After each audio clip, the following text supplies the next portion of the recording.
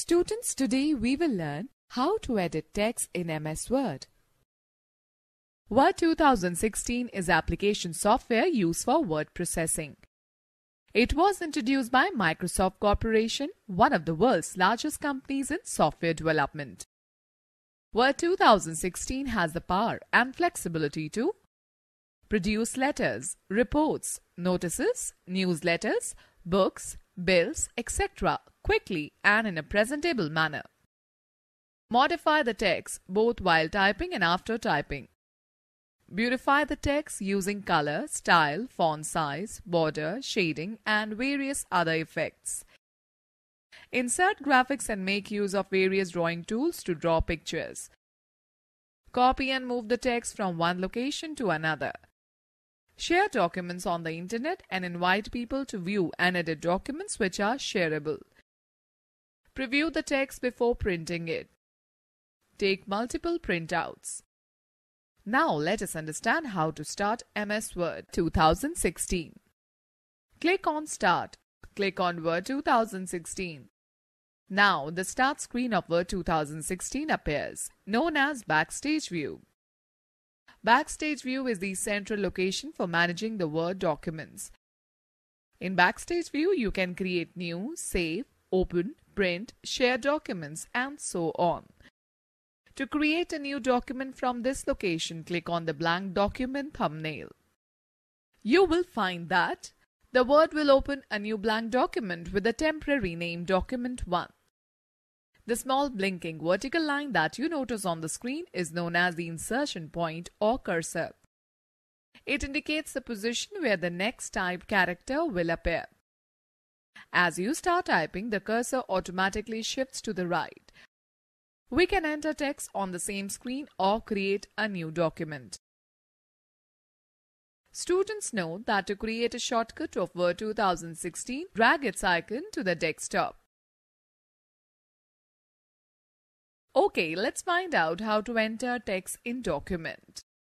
While typing in a Word document, you will observe that Word wraps the text automatically. Wrapping the text means that if the text does not fit in the current line, then Word shifts it to the next line by default.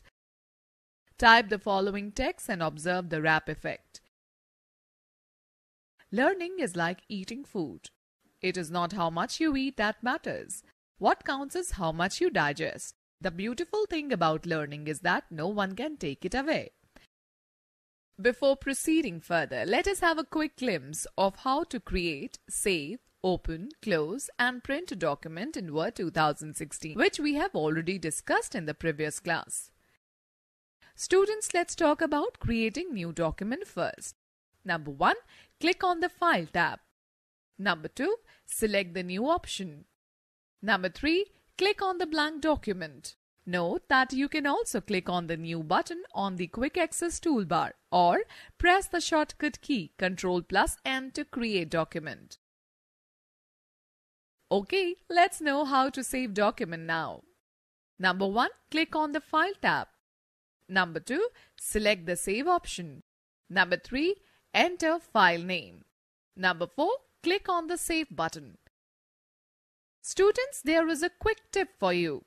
Click on the Save button on the Quick Access toolbar or press the shortcut key Ctrl plus S. Let's find how to close document. Number 1. Click on the File tab. Number 2. Select the Close option.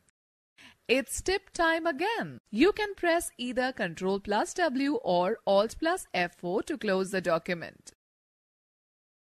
Let's find how to open document now. Number 1. Click on the File tab. Number 2. Select the Open option. Number 3. Enter file name. Number 4. Click on the Open button. Students, to open the document fast, click on the Open button on the Quick Access toolbar or press the shortcut key, Ctrl plus O. Now we shall quickly learn how to print document. Number 1. Click on the File tab. Number 2. Select the Print option. Now it's time for tip. Click on the Print Preview and Print button on the Quick Access toolbar or press the shortcut key Ctrl plus P. Students, an important point to note is that in Word 2013, you can also create a new document, save it, open an existing document, print the document either by clicking on the Quick Access toolbar or by selecting the New, Save, Open or Print options from the File tab respectively. Alright, let us find out how to select and edit text now. After typing the text in a document, you may want to make some changes in the text. Making changes in a document is called editing. Before performing any action like copying, moving, finding and replacing, deleting or formatting the text, we need to select the text. The selected text is displayed on the screen in a highlighted bar. To select a block of text, we can use the selection area, which is the blank area in the left margin of the document. We can select the text in a variety of ways. Now let me quickly tell you how to select text using mouse. Text to select Method A word Double-click on the word. A sentence Hold the control key and click anywhere on the sentence. A paragraph Triple-click anywhere in the paragraph or double-click in the left margin of the paragraph. A large block of text. Click at the beginning of the text, Press the Shift key and without releasing it, click at the end of the text. Entire document. Click anywhere in the selection area while holding down the Ctrl plus A key or triple click in the selection area. Okay, let's learn how to select the text using keyboard. You can select the text on a document by using the following shortcut keys. Text to select, shortcut key. One character to the left, Shift plus left arrow key. One character to the right. Shift plus right arrow key. One line up. Shift plus up arrow key. One line down. Shift plus down arrow key. Beginning of the current line. Shift plus home. End of the current line. Shift plus end. Beginning of the current document. Shift plus control plus home. End of the current document. Shift plus Control plus End. An interesting fact is that the above given methods and shortcut keys can also be used to select the text in Word 2013. Now let me tell you how to insert text in a document. Word 2016 allows the user to add new text to an already existing document in two different ways. By using Insert mode, by using Overtype mode. Let us discuss Insert mode first. To select the Insert mode, right-click on the status bar. The Customize status bar menu appears. Click on the Overtype option. The Insert option appears on the status bar which shows that the Insert mode is selected. Now to enter the text, place the pointer to the right of the character where you want to insert new text. Type the new text and observe the change. Now let's talk about overtype mode. You can replace the existing text by typing the new text on it. To enable the overtype mode, click on the insert option on the status bar. It will change the existing mode into overtype mode. Now place the cursor before the letter and start typing. The existing text will be replaced with the new one. Students note that in the same way you can add new text in an existing text in Word 2013 by selecting the Insert or Overtype options on the status bar. Let me tell you about moving text in document. This feature is used to move the text from its original location to a new location.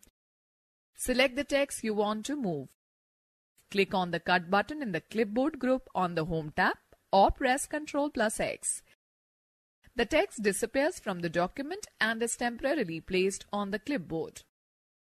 Position the cursor at the location where you want to place the selected text. Click on the Paste button or press Ctrl plus V. The selected text appears at the desired location.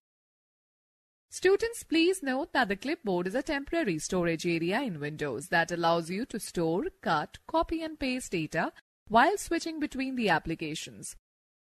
Up to 24 multiple text and graphical items could stay on the Office clipboard until you exit Office applications. After exiting the Office application, the last item that you copied stays back in the clipboard. Another interesting option in MS Word 2016 is Tell me what you want to do. It is a new feature which can be used to get quick help on topics that you are looking for or the commands that you want to use in your document. Let me share that in Word 2013, Cut, Copy and Paste buttons are present in the Clipboard group on the Home tab. Now let us quickly discuss copying text. Copy and paste options are used to duplicate the text. We can copy the text not only from one location to another within a document but also from one document to another. This feature helps in reducing our time and effort in typing. The only difference between copy-paste or cut and paste features is that the copy feature copies the text but does not remove the text from its original place as the cut feature does. Also, notice that a feature to display or hide ribbons called Ribbon Display Options is present next to the Sign In button. When you click on this button, it reveals the following three options. Auto Hide Ribbon, Show Tabs, Show Tabs and Commands. Let us talk about deleting text. Word 2016 provides a facility to erase the text. Follow these steps. Number 1. Select the text Number 2. Press the delete key. Number 3. The selected text will be removed. You can also delete text by using the backspace key. It removes the character to the left of the cursor position. To delete a block of the text, select the text and then press either the delete key or the backspace key. Students press Ctrl plus delete and Ctrl plus backspace key combinations to delete one word to the right or left respectively. Let us learn how to use undo and redo commands. Word 2016 keeps track of all the changes that we make in a document. We can easily undo any change and restore the original text. Undo. This option reverses the effect of the last command. To reverse one or more than one action, click on the Undo button present on the Quick Access toolbar. Redo.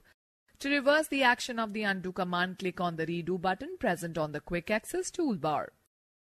Word 2013 Similarly, in Word 2013, you can find the undo and redo options on the quick access toolbar.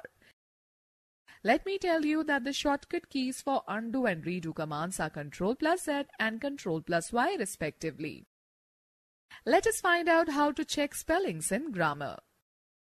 Word 2016 has a built-in dictionary and a set of grammatical rules to check the spellings and grammar of the text document.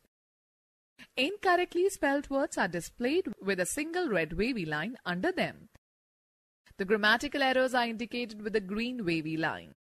The spell check starts from the position of the cursor and checks the complete document. A simple method to check the spelling of any word is as follows. Right-click on the word with a red wavy line. A shortcut menu opens displaying various suggestions.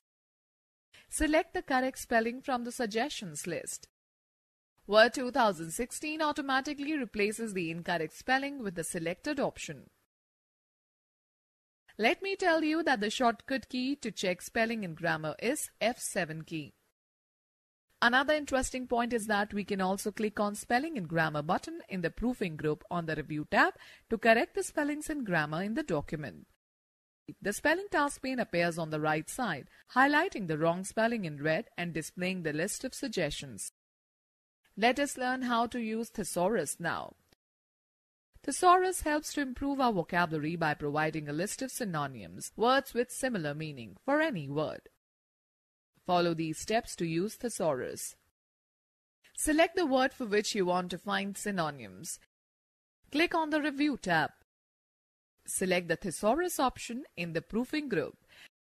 The Thesaurus task pane opens on the right side of the document window, displaying the list synonyms. Move the mouse pointer to the suitable word. Click on the drop-down button and select the Insert option. The existing word will be replaced with the new one. Students know that to activate the Thesaurus option in Word 2013, click on Review tab and select the Thesaurus option from the Proofing group.